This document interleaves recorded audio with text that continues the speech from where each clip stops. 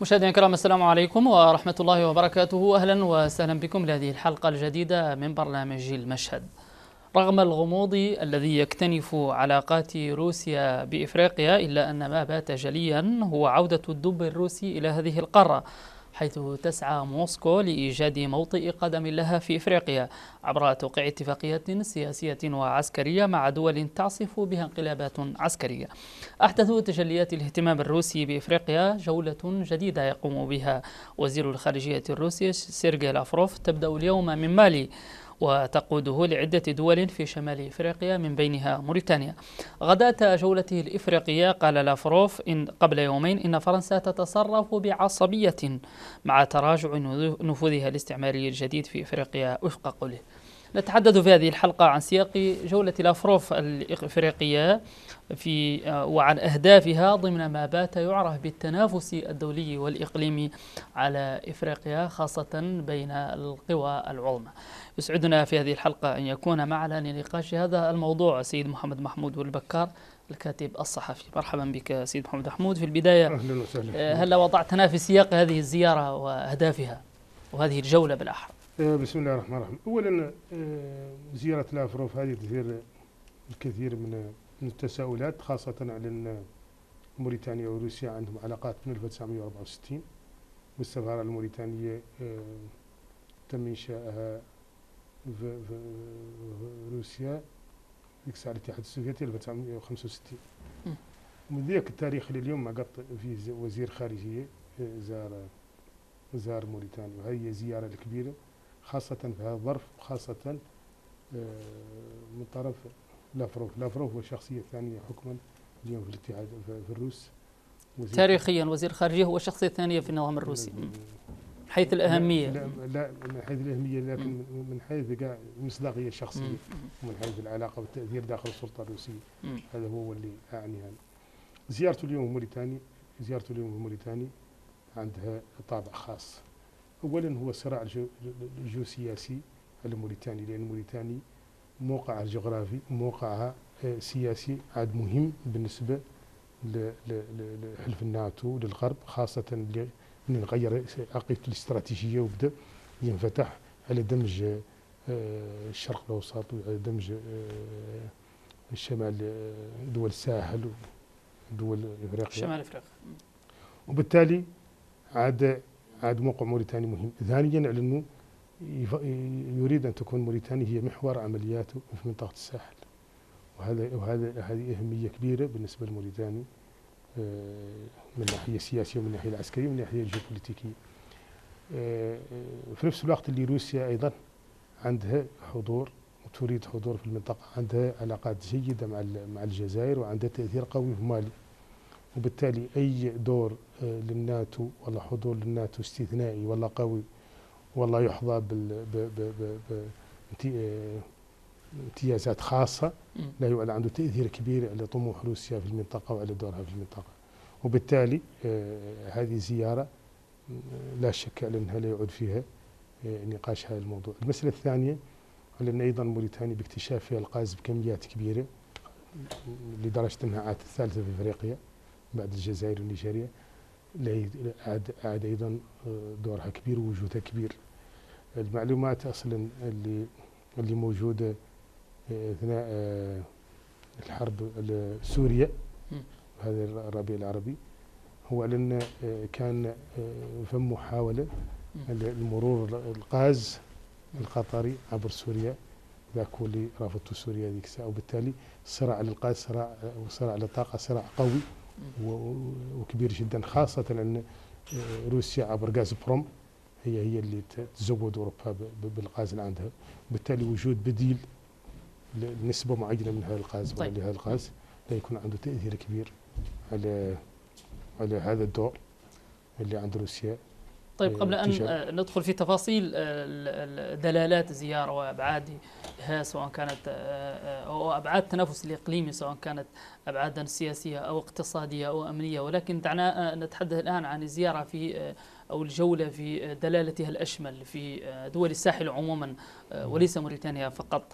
آه، هنالك كما تعلم تزايد للنفوذ الروسي خلال السنوات الماضية أو خلال الأشهر الماضية في دول الساحل وفي دول الشمال الافريقي خاصة مالي بوركينا فاسو. أخيرا هنالك طرد للفرنسيين بطريقة غير دبلوماسية حتى أو غير مسبوقة في الفترة الأخيرة. برأيك ما هي أهداف هذا التواجد الروسي المتصاعد؟ هل يتعلق الأمر بالتنافس مع الغربيين أم الرغبة في الاستفادة من ثروات هذه المنطقة؟ اولا هو أصلا المشكلة هون مشكلة الغرب. مشكلة الغربيين هم اللي ما ما يدوروا أي حد يستفاد ولا يدوروا يفتحوا الطريق. لكن التجربة الغربية كانت تجربة مريرة وسيئة مع هذه الشعوب اللي هي لأن إحنا من الاستقلال ومن قبل الاستقلال مع فرنسا نتائج نتائج هذا هذا التعاون كانت سيئة وكارثية وكانت مجموعة من الانقلابات وكان مجموعة من من ردم آه، بؤر التوتر والتطرف داخل داخل البلد. وبؤر الانشقاق وبالتالي ما عنده اي أي آه، فائده حقيقية للمنطقة. وهذا عاشته آه، المنطقة كاملة اللي كانت مستعمرة من طرف فرنسا. الاتحاد الروس حاليا وتركيا والصين وغيرها من البلدان مقدمين نوع من التعاون مبني على الاحترام المشترك ومبني على المنافع المشتركة ومبني على والشعوب بدأت تنضج مع حتى الشعارات هاي الغربية شعارات الانفتاح شعارات الحرية حقوق الإنسان الحريه حقوق الاختيار والليبراليه وغيرها من الأمور. اصبحت أيضا شعوب تطمح إنها تعود عندها خيارات.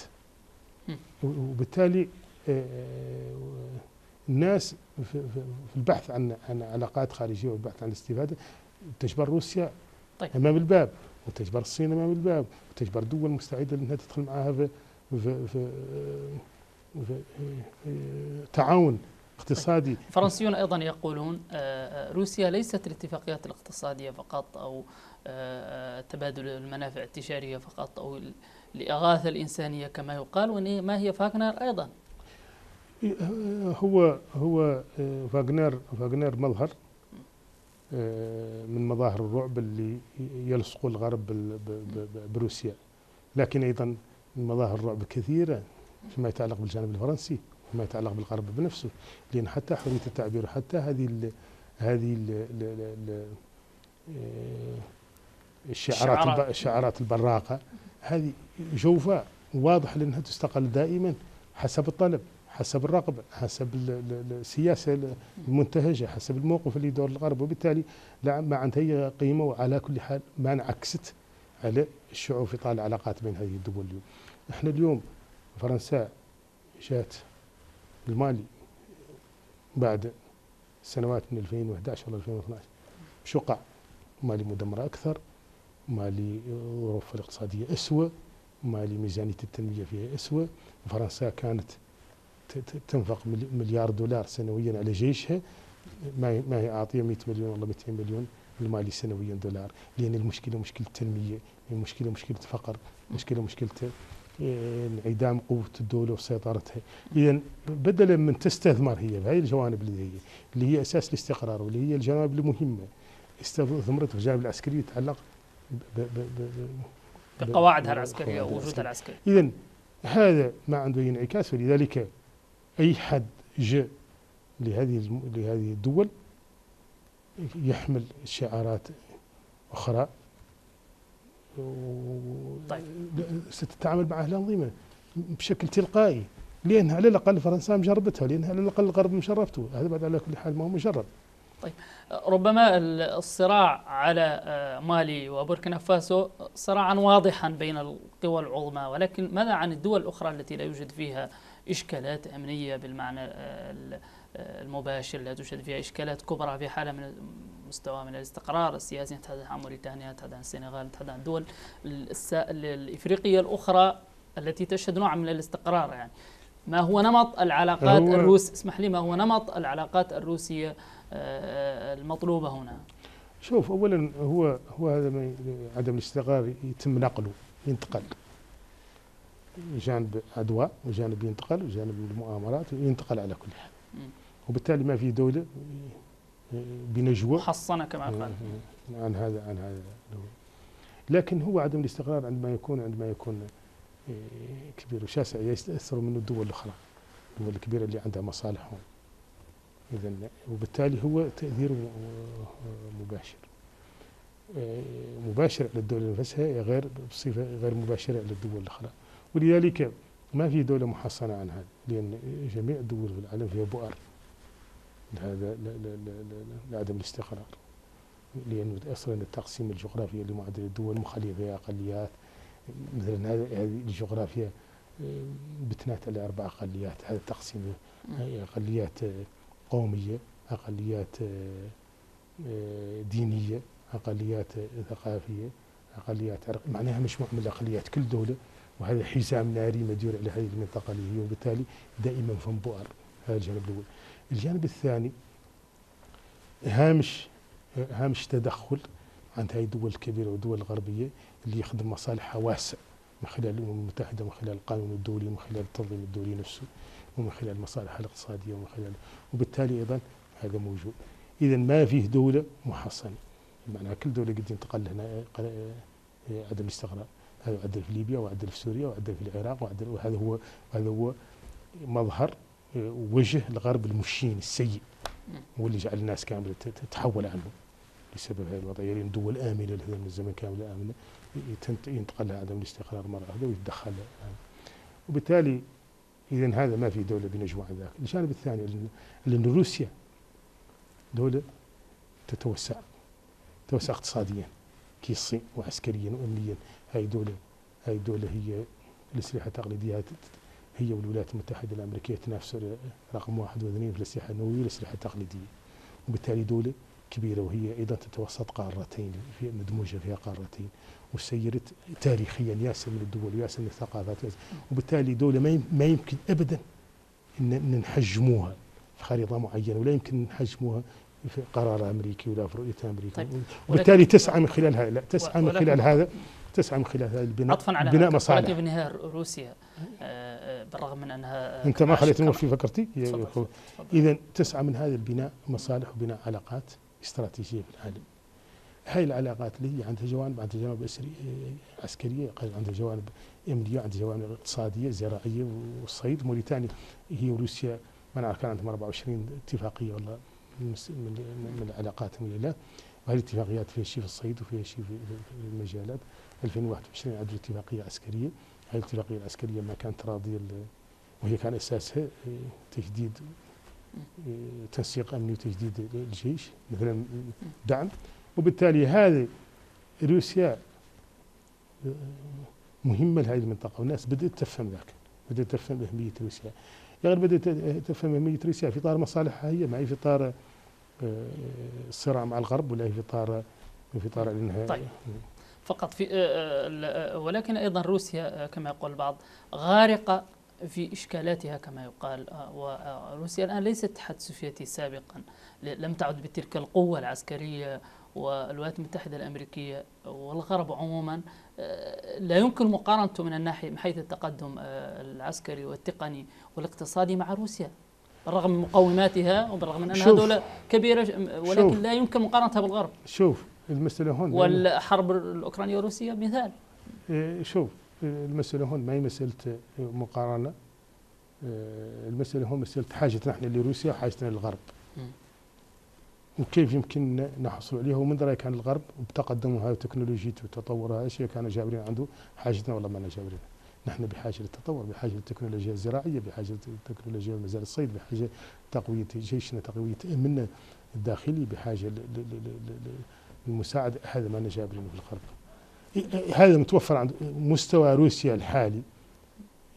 بعيدا عن مقارنته بالغرب إحنا يعطينا هذا الضمان ويعطينا يعطينا هذه الحاجة تلبية هذه الحاجة وهذا هو المهم. اذا معناها المسألة هون تقاس بحاجتنا إحنا وبالشروط اللي تنعطى فيهم الحاجة وبالثمن.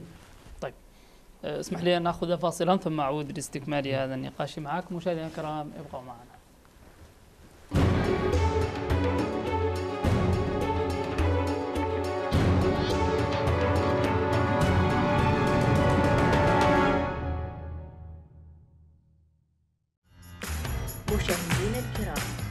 تلفت قناة المرابطون عنايتكم إلى أن الدروس الرقمية التي تقدم على الشاشة موجودة على قناتنا على اليوتيوب.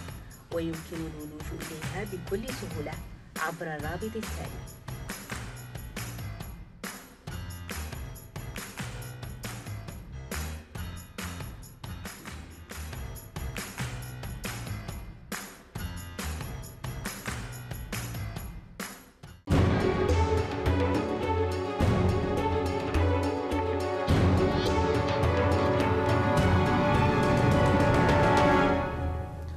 مشاهدينا الكرام أهلا وسهلا بكم معنا من جديد. في الجزء الثاني من برنامج المشهد الذي يناقش فيه جولة وزير الخارجية الروسي في شمال إفريقيا والتي بدأت اليوم بمالي وستكون من ضمن هذه الدول موريتانيا أيضا.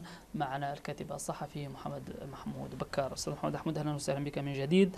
هنالك أهداف عامه لأغلب الجولات أو الزيارات الخارجية آه، آه، بل السياسة الخارجية الروسية من أبرزها آه، الدعوة إلى أو التحضير للقمة الإفريقية الروسية التي من المستعد من المقرر أن تنعقد نهاية شهر يوليو المقبل في مدينة سان بطرسبرغ الروسية. ثم الملف الثاني هو ملف الحبوب والأسمدة. طبعا تعلم أنه هذا من أبرز أوجه الخلاف بين الغربيين والاتحاد الأوروبي وبين الروس لأن روسيا آه، تتهم آه، الغربيين بأن اتفاقية الحبوب آه، تستفيد منها الغربيون ولا وليست الدول النامية ثم كذلك إضعاف هيمنة الدولار الأمريكي من خلال استقطاب الدول الإفريقية لنظام أو مجموعة البريكس برأيك هل يمكن لروسيا أن تحقق مثل هذه الأهداف؟ أولا شوف مجال مهم في السؤال السابق وهو لأنك أعطيت مثل بين الحرب الأوكرانية. لأنها واضح فيها عدم سيطرة روسيا بشكل حاسم على الأقل. يعني شوف على كل حال. أو سريع. على كل حال. هو هو روسيا حققت الهدف الكبير من هذه الحرب وهو تحييد أوكرانيا عن معايير الناتو يعني أوكرانيا حتى إذا انتهت الحرب اليوم ما تقدر تنضم للناتو وهذا كان هو الأهم. ثانيا روسيا حصلت على معلومات استراتيجية واستخباراتية وعسكرية مهمة من خلال التواجد الغربي ومن خلال المخطط اللي كان.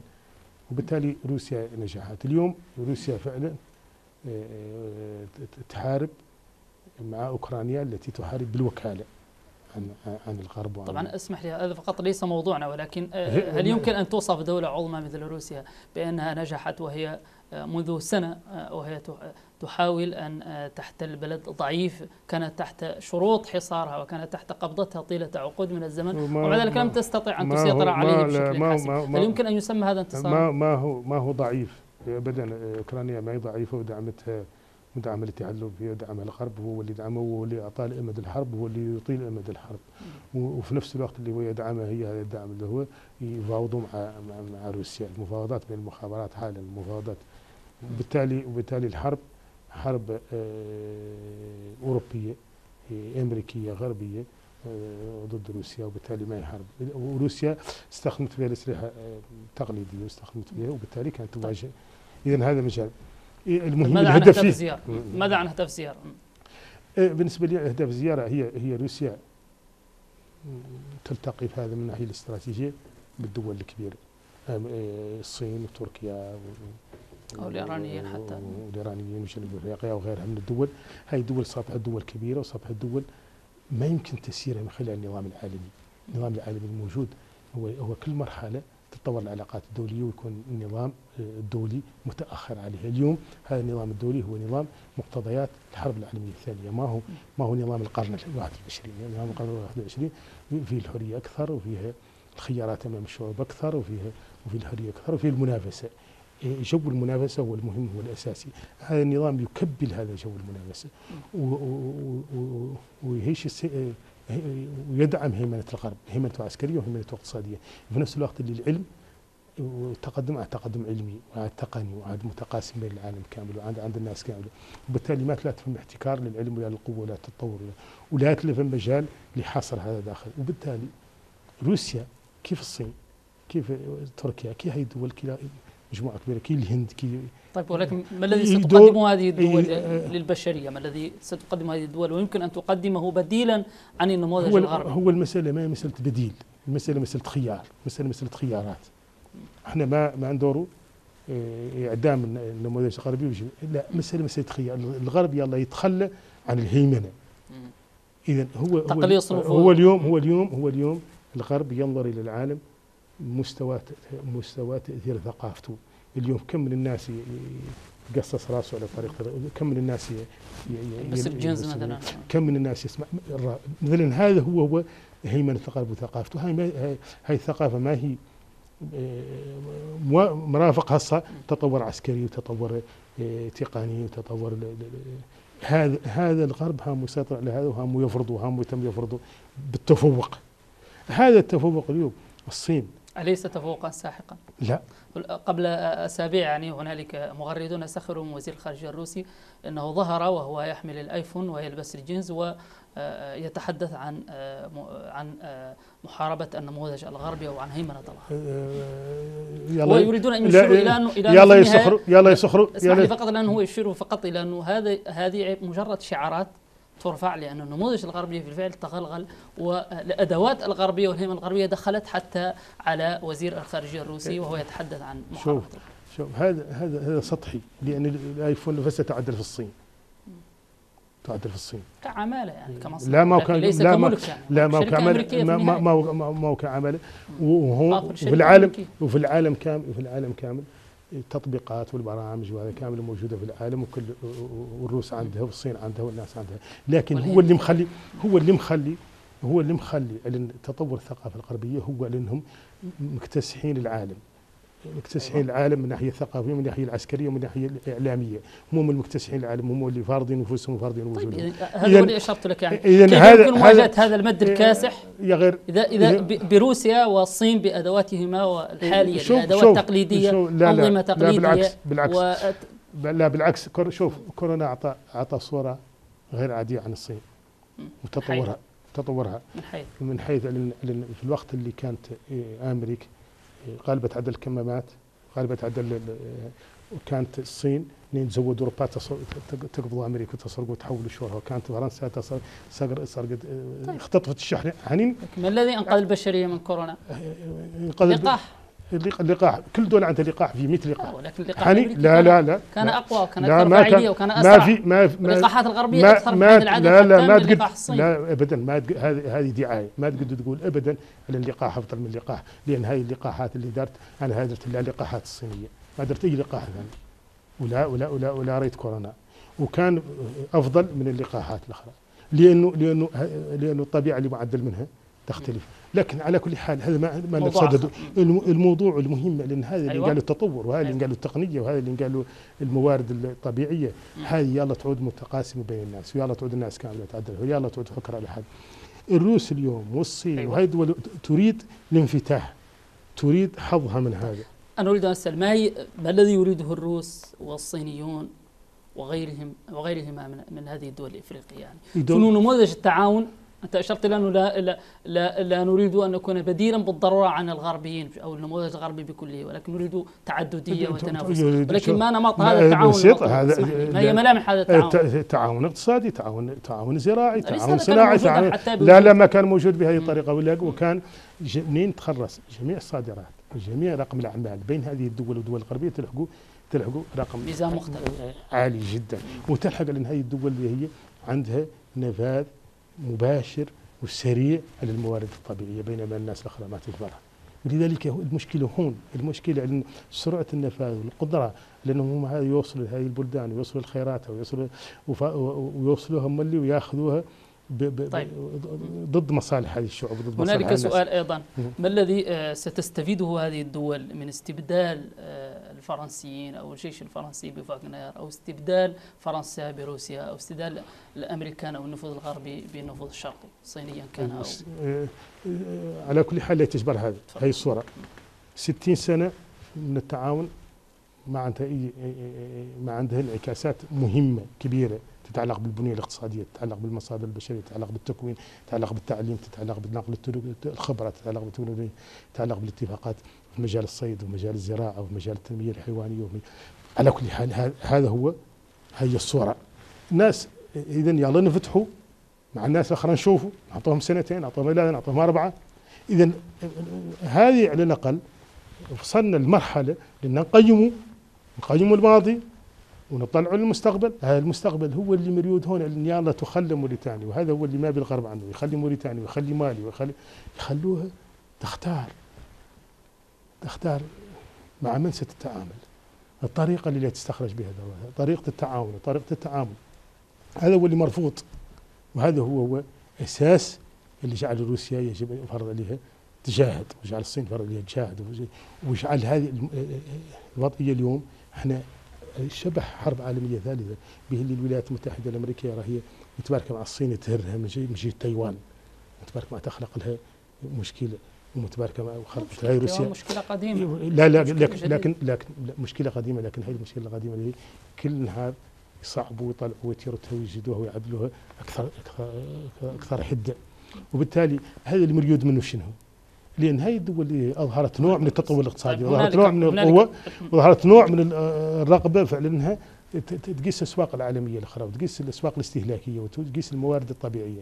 هذا هو اللي طيب أليس من الأفضل للدول الافريقيه دول شمال إفريقيا وهي دول ضعيفة في معظمها ودول هشة أن تنأى بنفسها عن سياسة المحاور أصلا وتبتعد عن سياسة النفوذ الشرقي أو الغربي؟ هي ما هي هي ما هي اللي مشات شورهم هاي الدول هاي الدول اللي اللي هي من استقلالها لليوم راتعه فيها فرنسا وراتعه فيها الدول الغربيه ولا عاطينها فرصة.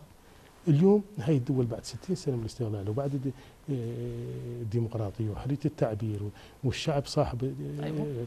يلا يخليها خيارها تختار تتعامل مع ذاك وتتعامل مع ذاك. هذا هو هذا هو هذا هو هذا هو لب المسألة وهذا هو القيود الكبيرة اللي اللي اللي طارحه طيب اسمح لي نتحدث مثلا عن موريتانيا، ليست العلاقات الصينية الموريتانية علاقات قوية جدا؟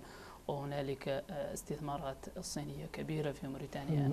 بل في المنطقة الإفريقية عموما يعني آه، هل آه، هل هنالك اعتراض من هل, هل يمنع الغربيون الصينيين من الاستثمار أو الروس أو غيرهم في هذه الدولة أو تلك؟ شو لا شو شو الأمر يختلف.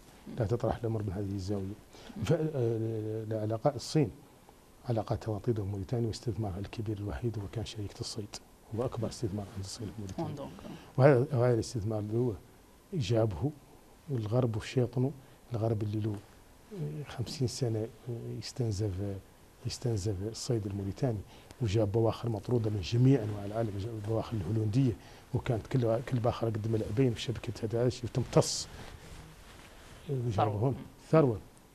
منين جات؟ وهذه ماني مدافع عن هوندونغ ولا مدافع عن اتفاقها ونرى لأنه سيء لكنه أسوأ منه خمسين سنة من الاستنزاف. هذه اتفاقيات تعاون تجدد إيه، سنويا إيه. تمر على البرلمان تفوصية. يمكن يمكن تغييرها بشكل مختلف يمكن تكون فيها مظالم ولكن يمكن تصحيحها لا شوف يعني هذه بتل شوف لا شوف حالي أنا اللي أنا اللي نقول لك معناها إنك وراء 50 سنة من الاستقلال ما قد تحكم عن تعدل الاتفاق. الاتفاق مناقش بصفه سيئة. الاتفاق معدل بصفه سيئة مشهودة ياس من حقائقه عن الشعب الموريتاني وعن البرلمان وعن غيره وله وله اتفاق نموذجي بالعكس بالعكس. هذا بسبب يا غير يا غير وعدم أهلية غير داخل الصين ولا الأمريكان ولا غيرهم. هذه دول تبحث عن مصالحها وجد وجد اتفاقيه مع هذه الحكومات؟ لا لا المساله المسألة ما ما يبي هذه السهولة. المسألة ما يبي هذه السهولة ولا حد لا يدخل لا يدخل سوبر ماركت ويختار منها. المسألة ما يبي هذه مسألة صعبة جدا.